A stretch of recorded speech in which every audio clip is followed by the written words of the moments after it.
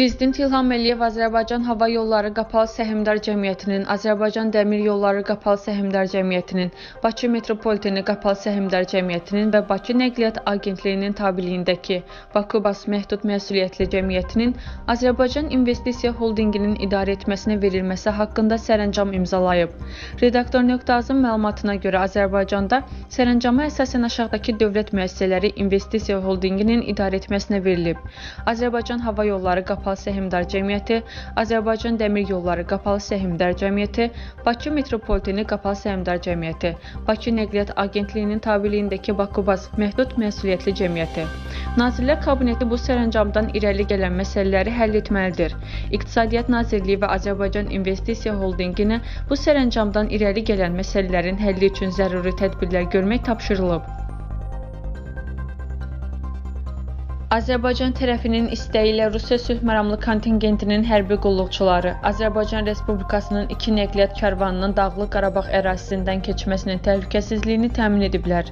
Redaktor Nöqtaz xəbər verir ki, bu barədə Rusiya Müdafiə Nazirliyi məlumat yayıb. Rusiya hərbi personalının müşayiəti ilə 60-dan çox yük maşını Şuşa yaşayış məntəqəsinin infrastrukturunu bərpa etmək üçün tikinti materialları çatdırıb. Rusiya sülh məramlı kontingenti üç tərəfli razılaşmanın ciddi şəkildə həyata həyata keçirilməsinə və bölgədə dinc həyatın bərpasına töhfə verməyə davam edəcək, nazirlikdən bildirilib.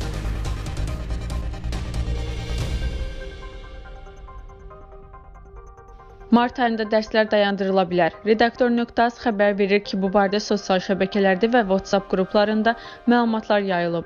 Bildirilib ki, mart ayının sonunda Novruz bayramı tətilindən sonra şagirdlərin məktəbə getməsi dayandırılaraq distant təhsilə keçiriləcək. Təhsil Nazirliyinin mətbuat xidmətinin rəhbəri Cəsarət Valihov açıqlamasında bildirib ki, yayılan məlumatların heç bir əsası yoxdur. Onun sözlərinə görə hazırda Azərbaycan məktəblərinin bağlanmasına səbəb olacaq sanitar epidemioloji durum yoxdur. Cəmiyyətdə gəzən söz söhbətin heç bir əsası yoxdur. Sosial şəbəkələrdə səhv informasiya yayırlar. Ümumiyyətlə dərslərin dayandırılması ilə bağlı məsələ birbaşa Nazirlər Kabinetinin verdiyi qərarla tənzimlənir. Hazırda məktəblərdə dərslərin dayandırılmasına əsas verəcək heç bir narahatlıq və təhlükə yoxdur. Cəsarət Valihov bildirib. Biz bölgələrimizin adının tanınması ilə bağlı fərqli strategiyalar üzərində işləməliyik. Yeni Sabah.az xəbər verir ki, bunu Milli Məclisin bugün keçirilən iclasında deputat Fazil Mustafa deyib. Deputat bildirib ki, Nizami Gəncəvi kifayət qədər dünyada tanınır. Nizami adına Gəncədə kifayət qədər yer adları var. Biz burada tanınmayanların dünyada tanınmasına şərait yaratmalıyıq. Məsələn, Nəsib bəy Yusufbəyli. Deputat bildirib ki, operativ qərargahın bəzi qərarlarına düzəliş edilməlidir. Sahibkara istənilən səviyyədə yardım göstərmək mümkün deyil. Ölkədə tikinti məhsullarının qiyməti son bir ildə 30-40% qalxıb. İdman yerlərini bağlayıblar. Burada hansı yoluxma təhlükəsi var? Yüzlərlə minlərlə insanların vəziyyəti ağırdır, yaxud paltar, ayaqqabı satılan yerləri bağlayıb açırlar. Hansı ki, ora gün ərzində 10-20 nəfər girə ya girməyə. Bir çox sahələri açmaq lazımdır. İnsanları bu vəziyyətdə qoymaq olmaz. Həmin yerlərdə çalışan insanlar işləmir. Uşaq pulu məsələsi hökumətdə və parlamentdə müzakirə edilsə də yekun qərara gəlinmədi. Bu gün Azərbaycanda 600 min uşağa müxtəlif adlar altında müavinət verilir. Amma 2000-ci ilə qədər uşaq pulu adı altında 2 manat ödənilirdi.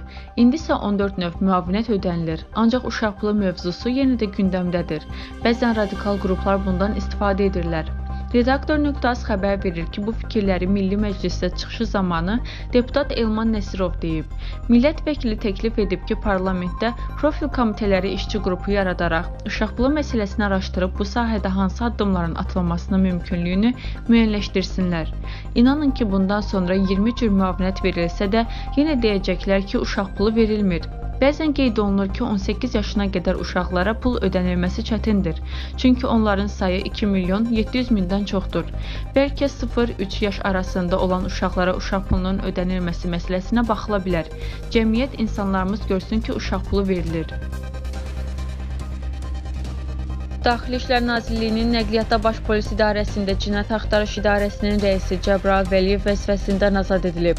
Bununla bağlı Daxili İşlər Naziri general-polkovnik Vilayət Eyvazov müvafiq əmr imzalayıb. Əmrə əsasən Cəbrayıl Vəliyev xidməti fəaliyyətində yol verdiyi nöqsanlara görə işdən çıxarılıb. Qeyd edək ki, Cəbrayıl Vəliyev daha əvvəl Salyan rayon polis şöbəsinin rəisi vəzifəsində çalışıb.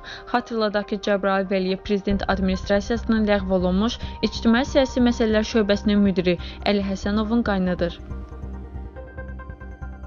Bakının Nərimanov rayonunda piyadanın vurulması ilə nəticələnən ağır qəza baş verib. Axar.az xəbər verir ki, hadisə Koroğlu Rəhimov küçəsində Odlar Yurdu Universitetinin qarşısındakı piyada keçidində qeydə alınıb. Yüksək sürətlə hərəkət edən Mercedes markalı avtomobil qadını vurub.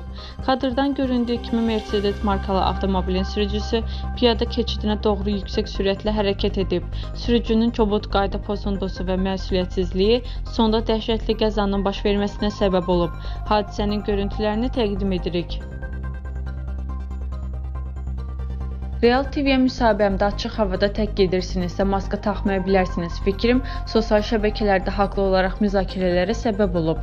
Verilişin aparıcısı bu məsələnin təbibin səlahiyyətlərinə daxil olmamasını deyərək qərara həkim kimi mövqeyimi istədi. Redaktor Nöqtaz xəbər verir ki, bunu təbibin infeksionist xəstəliklər üzrə işçi qrupunun həkim infeksionisti Nəzrin Mustafayeva deyib. Mən həkim infeksionist olaraq tibbi cəhətdən bildirmişəm ki, tək gəzərkən insanın virusa yoluxma ehtimalı yoxdur. yo'qdir Amma gəlin razılaşaq ki, tək gəzdiyiniz zamanda hansısa yaxınımızla qarşılaşa və ünsiyyətdə ola bilərik. Odur ki, inzibati qayda tətbiq edilərkən bu və ya digər həyatın bütün situasiyalarını əhatə etmək mümkün olmur. Bu səbəbdən vahid qərar verilir. Ümumdünya Səhiyyə Təşkilatının tövsiyələrinə uyğun olaraq Nazirlər Kabineti yanında operativ qərargah tərəfindən vətəndaşların sağlamlığı naminə qəbul edilmiş hər bir qərara birmənalı əməl etmək hər birimizin, eyni zamanda həkim olaraq mənim borcumdur. Təsadüfi deyil ki, ictimaiyyətin hər bir üzvü tərəfindən virusla mübarizə çərçivəsində tətbiq edilən qərarlara riayət olunması nəticəsində virusun kəskin azalması müşahidə edilmişdir. Bu mənada mənim bildirdiyim fikir yalnız tibbi mühafizədir və təbibin rəsmi mövqeyi deyil, deyə o söyləyib. Sərhədin demarkasiyası nəticəsində Ermənistanın Gorus-Qafan yolunun 21 km hissəsi Azərbaycan ordusunun nəzarətinə keçib. Publika.az xəbər verir ki, bu barədə Ermənistanda hakim mənim addımım fraksiyasının deputatı Ak Gevorkyan deyib. Son günlər Ermənistanda ən çox müzakirə olunan məsələlərdən biri də Sünük, yəni Zəngəzur bölgəsində strateji əhəmiyyətli ərazilərin Azərbaycanın nəzarətinə keçməsidir. Ermənistan işğal dövründə dövlət sərhədini Qubadlı və Zəngilan istiqamətində irəli çəkərək Gorus Qafan Mehdi bölgəsini sərhəd bölgə statusundan çıxarmışdı. 44 günlük müharibə nəticəsində 30 illik işğala son qoyan Azərbaycan beynəlxalq səviyyədə tanınmış sərhədini də bərpa etdi. Hazırda işğal dövründə pozulan dövlət sərhəd xəttinin bərpası işləri davam edir. Ermənistanı narahat edən məsələ İrana çıxış üçün strateji əhəmiyyətli yolun da Azərbaycanın nəzarətinə keçməsidir. İranşünas Vardan Vaskonyan deyir ki, Azərbaycan Ermənistan-İran arasında bütün quru yollara nəzarət etmək imkanını əldə edib. Gürcüstan qafana iki yol uzanır. Bunlardan biri M2 dövlətlər arası magistral yoludur. İrəvan, Yeraks, Görüs, Mehri, İran sərhədi. Azərbaycan magistral yolun Voratan, yəni Şahverdilər, Şurnuxu kəndləri və Qafan yaxınlığından keçən hissəsinə nəzarət əldə edir.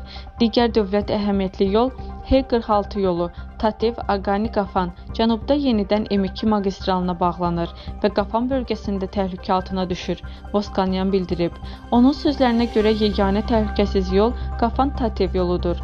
Lakin bu yol qışda keçilməz olur. Başqa sözlə, yollarla bağlı yaranan problem təkcə Ermənistanın daxili kommunikasiya yollarının yox, həm də cənuba çıxışın təhlükə altına düşməsi deməkdir. Moskanyan bununla bağlı xəritədə tərtib edib. Azadlıq radiosunun erməni xidməti isə yazır ki, Gorus Qafan yolunun 21 kilometrlik sektorundan başqa Qafan Aqarak, yəni Əkərək yolu, Qafandan Çakatin, Şikahov, yəni Şixovuz, Tivas kəndlərinə gedən yolun 4 kilometri də Azərbaycanın nəzarətinə keçib. Ermənistan Azərbaycanın nəzarətinə keçən yollara alternativ yollar tikməyi planlaşdırır.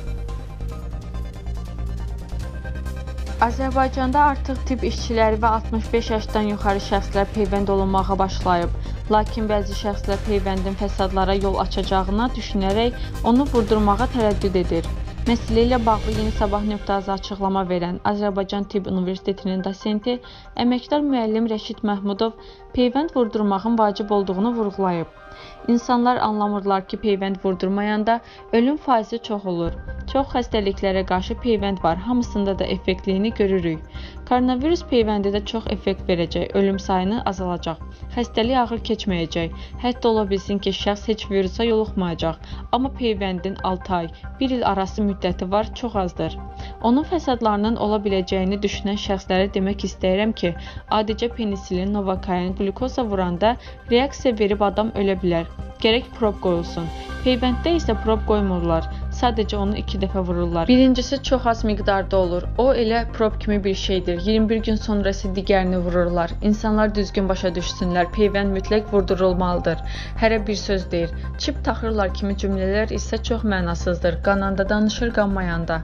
Həm söhbətimizin virusla peyvəndləmə prosesi ilə bağlı ancaq həkimlərin danışmalı olduğunu diqqətə çatdırıb. Bu sahənin öz mütəxəssisləri var. Onlar danışmalıdırlar. Amma ağızlarını yumublar. Heç kəs danışmır danışmır, danışan da şablon cümlələr deyir. Məsələ tərifatlı izah edilməlidir. Virus o gözə görünməz şey, bu voydu bədənimə nə edə bilər? Mən deyim, gözə görünməz dediyimiz şey toksin ifraz edir. O da zülal təbiətlidir. Həmin zülala qarşı da bədən özü antitoksin yaradır. Zəhəri antitoksin zərərsizləşdirir. Antitoksinin olmaması elə immunitet deməkdir. Adamı öldürən virusun toksinidir. Hazırda onu zərərsizləşdirən maddə peyvənd yaradılıb. Peyvəndə az miqdarda vurdururuq, az az miqdarda da antitoksin yaranır, yavaş-yavaş artır və insan xəstəliyi keçirmir. Elə xəstəlik var ki, ömründə bircə dəfə keçirirsən. Məsələn, qızılcıq xəstəliyi bu sıraya daxildir. Yoluxandan sonra ona qarşı yaranan antitoksin, yəni bədənimizin yaratdığı immun sistemi daha sonra heç vaxt qandan çıxmır. Ona görə də adam o xəstəliyə bircə dəfə yoluxur. Amma əgər sən yoluxmadan ona qarşı peyvənd etdirsən, heç vaxt yoluxmazsan. Ona görə də insanları düzgün başa salmaq lazımdır.